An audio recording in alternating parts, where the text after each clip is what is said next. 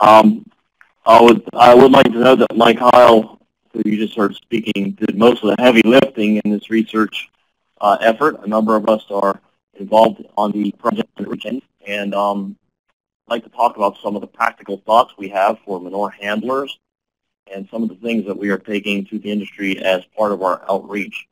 We start commonly with confined spaces, reminding people that these areas are dangerous, that we should not enter these areas without the proper protocol and safety procedures.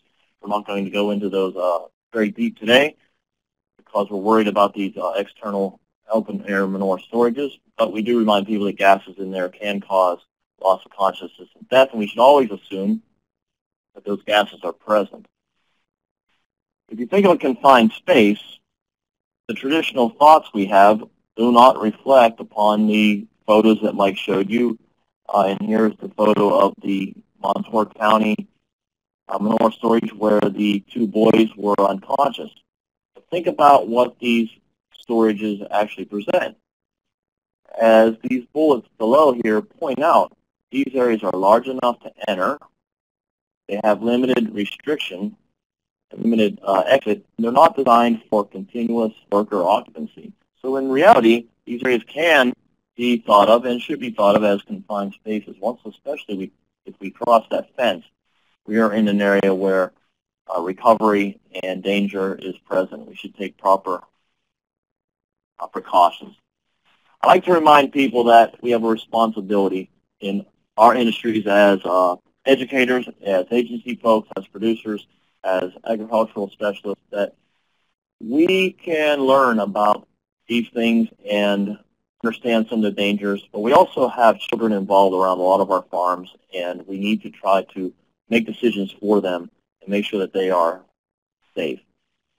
So here we have a statement that everyone has an obligation to, design, supply, buy, operate, and maintain manure storage and handling systems that are safe for workers, visitors, and children. Uh, previous studies have shown that uh, up to 11% of the confined space deaths have occurred to children, and that's a little over 1 out of 10. And I took these photos all at the Manure Expo when it was in Ontario, Canada, and every time there was a confined space or an open hole, it seemed like a child wanted to walk up and peer into it. So keep that in mind as we move through. Gases are and can be colorless, odorless, and some are explosive. The one we're concerned about today, hydrogen sulfide does sink. We can have stratification of gases within a confined space, stratification uh, in these open air situations, especially if we have stable air without much uh, wind turbulence. Some gases like methane uh, would rise. Hydrogen sulfide, I see some uh, notes in the chat, Todd, uh, uh, to some links that would probably give us some good OSHA guidance on these. Mike also mentioned some guidance levels. I have a chart here that uh, lists both human and some swine uh, concerns. Generally, we would think of animal uh, danger levels being similar to those that are published for people. I don't see a lot of uh, real hard, uh, solid evidence or uh, published guidelines for animals. There are some good guidelines out there, but not like we would have for OSHA. But here are some that we can highlight. Many people can detect and smell hydrosulfide at one part per million. It's that rotten egg smell, and down to 0.3 parts per million, many people can detect it. However, if we get to uh, levels of 100 parts per million, it can deaden our sense of smell. I like to remind workers that if we think we're in hydrogen sulfide, we're smelling that rotten egg smell, and it goes away, it may not have gotten better. You could be in a uh, more dangerous situation because it's overloading and uh, decreasing your ability to actually smell that chemical. And as Mike had mentioned, it can be deadly at 600 parts per million. With the swine effects, we can see that at 20 parts per million continual exposure, we can have uh, effects on behavior and production. At 200 parts per million, uh, we can have respiratory tract uh, irritations and uh, decreases in productive activities with that. We encourage every worker, especially our commercial haulers who get around to a lot of different farms, and especially producers who have uh, gypsum at their farms, we encourage them to invest in the few hundred dollars in insurance policy, and that policy uh, transferring to a personal safety monitor. These monitors can test for oxygen deficiency, combustible gases, and toxic gases such as hydrogen sulfide. We have the ability to have both multiple gas and single gas monitors. Cost comes into play. Ease of use comes into play. These things do need calibrated and uh, maintained season to season. Single gas monitor, of course, we would recommend having hydrogen sulfide as your single gas monitor with multiple gas monitors. We also might recommend methane, ammonia, and then oxygen because all the gases that can be produced, hundreds of gases uh, varieties can be produced from manures. If any of them displace oxygen, then those uh, gases are dangerous. We can use the word here in quotes saying that we are using the monitor to see the invisible gas, and we have programs available where you can own or even lease. So there are programs where the manure hauler can lease a monitor, send it back in after the season, and have it have it uh, calibrated and maintained, and then get a new, fresh, ready to go uh, monitor back to him. Some safety tips.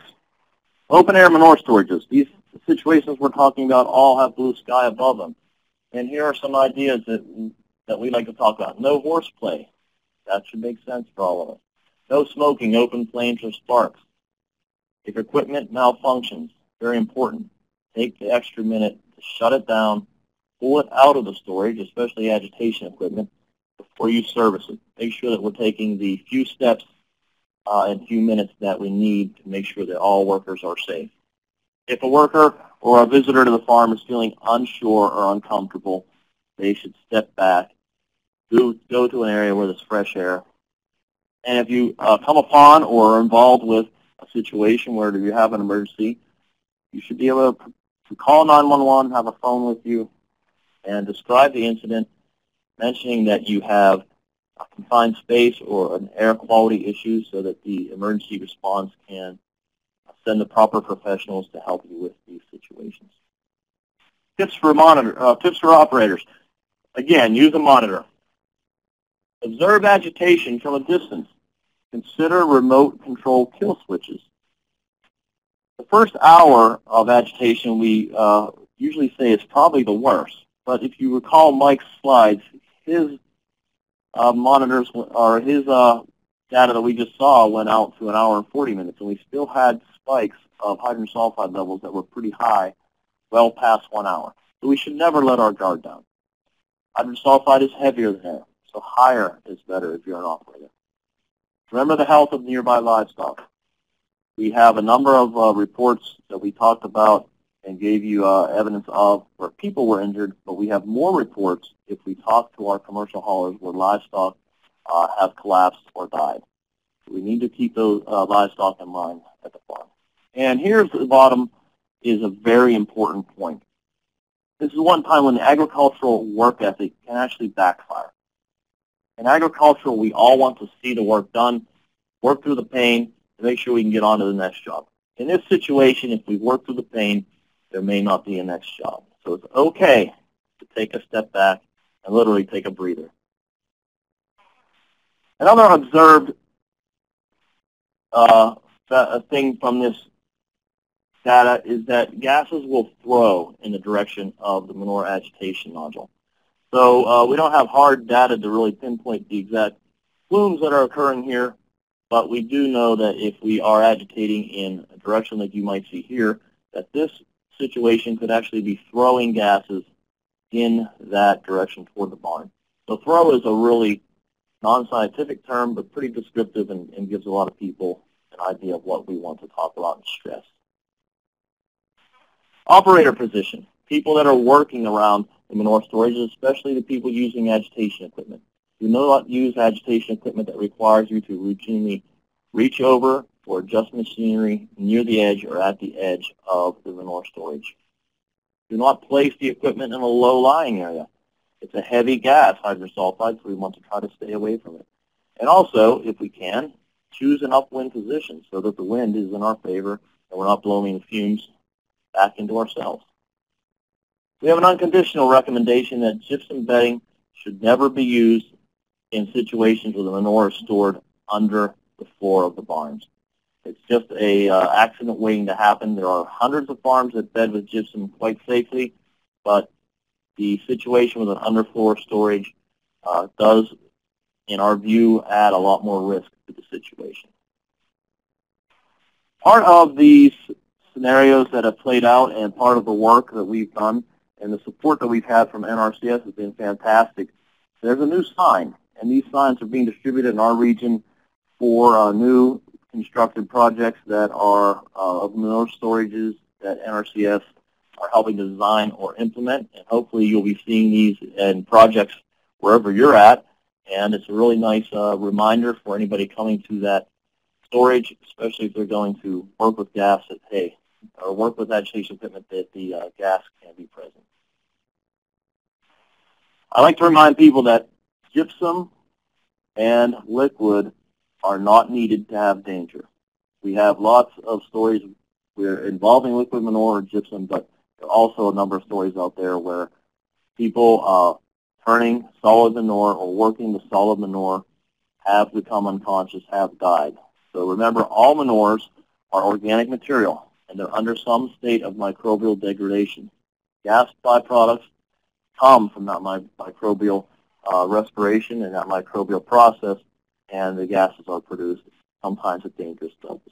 I know of six producers or haulers who have been unconscious when working around manure storages or with manure uh, handling equipment, and two of them were in poultry barns working and cleaning out poultry barns. And so it was a dry material, but the gas is there. It may not, I would doubt if it's hydrogen sulfide because of the uh, conditions that they were in, but the gases there uh, did render them unconscious.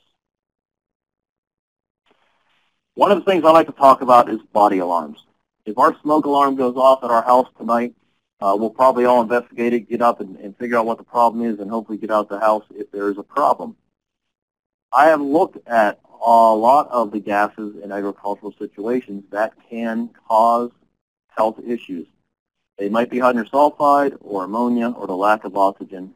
They all could have different symptoms of uh, exposure. And I've taken the list of exposure regardless of the uh, gas and put them into a list here.